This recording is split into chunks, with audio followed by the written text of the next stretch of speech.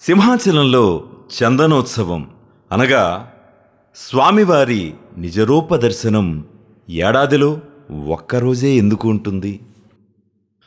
ప్రహ్లాదుని కోరిక మేరకు శ్రీ లక్ష్మీ వరాహ నృసింహుడిగా సింహాచల క్షేత్రంలో శ్రీమన్నారాయణుడు వెలసినట్లు పురాణాలు చెబుతున్నాయి.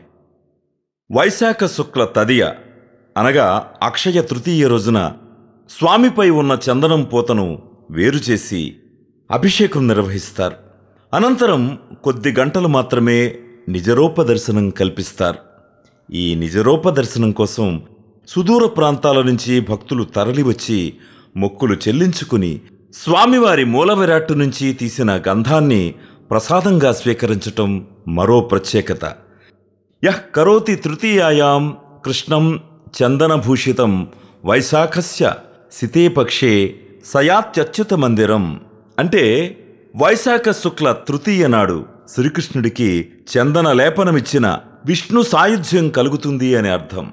అందుకే అక్షయ తృతీయ నాడు అచ్యుతుడైన నారసింహునికి చందన సమర్పణ మహోత్సవం జరిపిస్తారు. ఈ రోజు చేసే జప తప హోమ తర్పణాదులు అక్షయమై పుణ్యఫలాన్నిస్తాయని అక్షయ తృతీయ అనంత ఫలమని అంటారు. కశ్యప ప్రజాపతి కుమారులు హిరణ్యాక్షుడు హిరణ్యకశిపుడు రాక్షస రాజులైన ఆ సోదరుల యొక్క క్రూర ప్రభావం ముల్లోకాలను గడగడలాడించింది. హిరణ్యాక్షుడు ఒకానొక సమయంలో భూదేవిని చెరబట్టి చాపలా చుట్టి తీసుకుపోయాడని పురాణాలు వివరిస్తున్నాయి. అంతటి దుర్మార్గుణ్ణి శ్రీ మహావిష్ణువు ఆది వరాహ అవతారం ఎత్తి సంహరించాడు.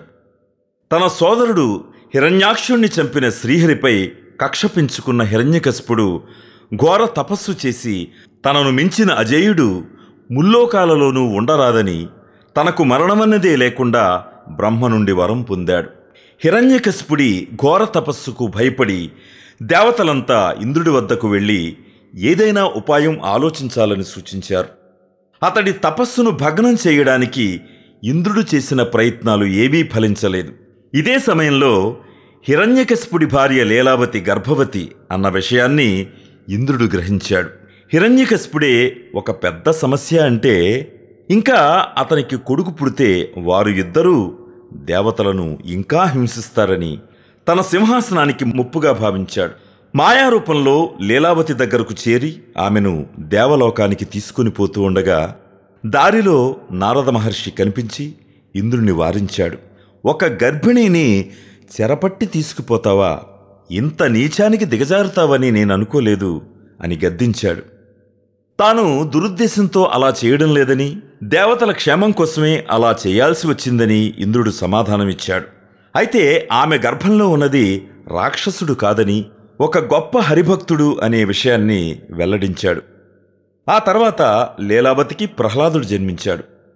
పుట్టుకతోనే హరిభక్తుడైన ప్రహ్లాదుని మనసు మార్చటానికి హిరణ్యకశిపుడు చేయని ప్రయత్నాలంటూ లేవు. సామభేద దండోపాయాలతో చేసిన ప్రయత్నాలు ఫలించకపోవడంతో చేసేది లేక కుమారుని సముద్రంలో పడవేయించి పైకి లేవకుండా పర్వతాన్ని వేయించాడు. అయితే శ్రీహరి వచ్చి తన భక్తుణ్ణి రక్షించుకున్నాడు. ఆ సముద్రమే విశాఖపట్నం వద్ద గల బంగాళాఖాతం. ఆ పైన పడవేసిన పర్వతమే సింహాచలం. హిరణ్యకశిపుని చంపిన విచిత్రావతారమే నరసింహ అవతారం. అప్పుడు సాక్షాత్కరించిన శ్రీ మహావిష్ణువు ప్రహ్లాదుని కోరిక మేరకు రానున్న కాలంలో ఇదే సింహాచలం కొండపై వరాహ నరసింహ రూపాలు కలబూసిన ద్వయరూపంతో శాంతమూర్తిగా లక్ష్మీదేవితో సహా అవతరిస్తానని అభయమిస్తాడు. స్వామి రూపం సింహాచలంలో వరాహముఖం నరుని తెల్లని శరీరం సింహం యొక్క జూలు భుజంపై తోక రెండు చేతులు భూమిలో దాగి ఉన్న పాదాలు. ఈ నిజరూప స్వామి దర్శనం అక్షయ తృతీయ నాడు మాత్రమే కొన్ని గంటల సేపు చందనం తొలగించినప్పుడు మాత్రమే దొరుకుతుంది. ఆ వేళకు లక్షలాది మంది భక్తులు వచ్చి స్వామిని దర్శించి తరిస్తారు. అనేక విధాల మృక్కులు తీర్చుకొని మళ్ళీ అర్చనాదులు పూర్తి చేసి భక్తులకు దర్శన భాగ్యం కల్పించిన దరిమిల సహస్ర ఘటాభిషేకం జరిపించి చందనం లేపనం చేయడం ఆ తర్వాత స్వామి శివలింగాకారుడుగా దర్శనమివ్వడం అద్వైత దర్శనానికి ప్రతీక. ఒకప్పుడు పురూరవ చక్రవర్తి ఊర్వశిని వివాహమాడి తన పుష్పక విమానంలో కలిసి ప్రయాణిస్తుండగా ఆ విమానం సింహగిరిపైకి వచ్చేసరికి ఉన్నట్టుండి ఆగిపోతుంది. దీంతో ఊర్వశి తన దివ్య దృష్టి ద్వారా ఈ కొండ అత్యంత మహిమాన్వితమైనదని పురూరవ చక్రవర్తికి వివరిస్తుంది. ఆ రాత్రికి వారు అక్కడే బస చేయగా సింహగిరిపై ఒక లోయలో ఉన్న సింహాద్రినాథుడు పురూరవ చక్రవర్తికి కలలో సాక్షాత్కరించి తాను ఇక్కడే కొలువై ఉన్నానని వెలికి తీసి గొప్ప ఉత్సవాన్ని జరిపించాలని కోరాడు. స్వామి కలలో చెప్పినట్టు పురూరవ చక్రవర్తి సింహగిరి లోయలో ఎంత వెదకినా ఫలితం కనపడలేదు.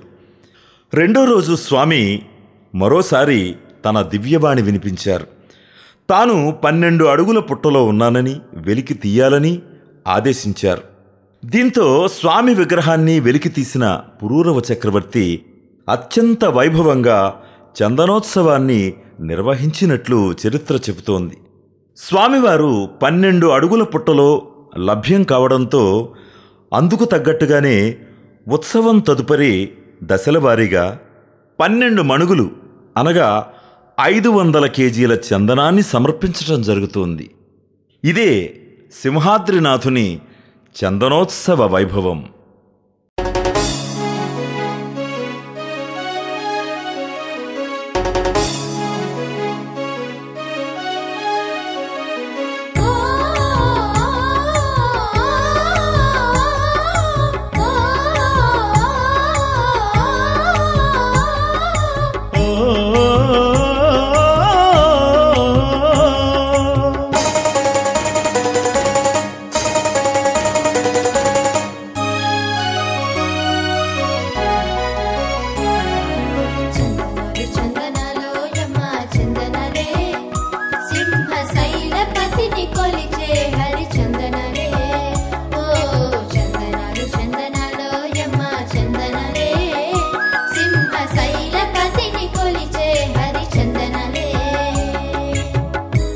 అవతారాల సమ్మిళితం నీ రూపం. నిన్ను కొలిచే భాగ్యం నిజమది మా పుణ్యఫలం.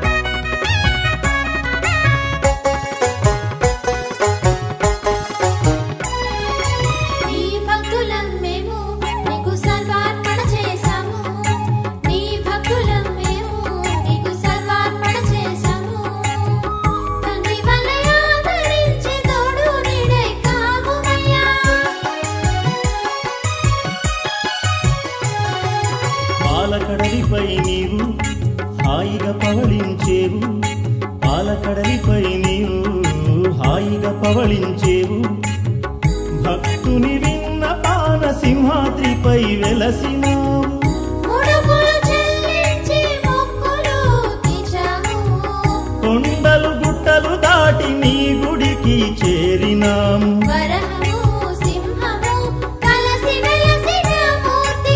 రూపము దీపము మంచి గంధాలు చెల్లించాము. చందనాలే. చందనాలు చందనాలు యమ్మ చందనాలే. సింహ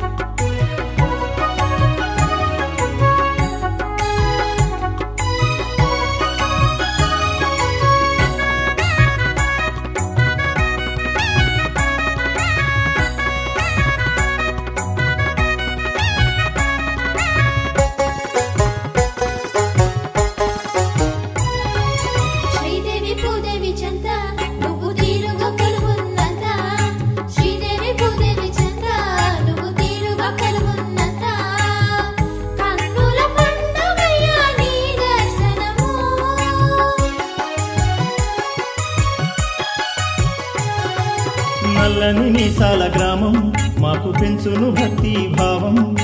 నల్లని నీసాల గ్రామం మాకు పెంచును భక్తి భావం. అభయమునిచ్చి మమ్ము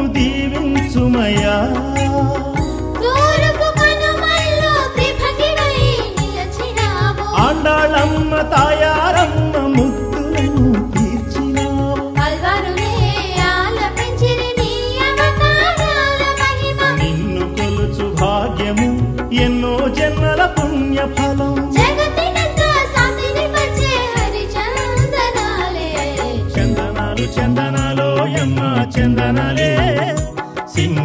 శైలపతిని కొలిచే హరిచందనలే.